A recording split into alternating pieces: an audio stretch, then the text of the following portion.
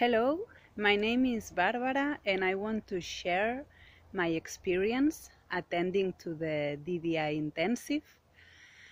Um, first of all, I want to say that some time ago I was going through a very difficult moment in my life and I was having many conflicts in an organization I was part of and I was leading as well. And a part of me didn't want to let go that organization and was like this is the organization i created and i don't want to leave this organization even i have many difficulties. And i could see that i was feeling depressed i was feeling angry and i felt my heart wasn't there anymore.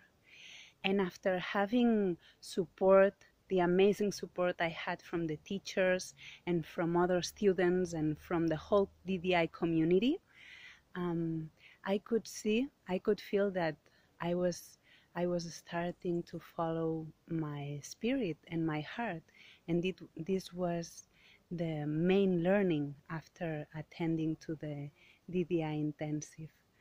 Mm. And what I've learned after attending to to a DDI intensive is to be more connected with my deeper essence and I'm starting to follow my heart and my spirit. Thank you for listening.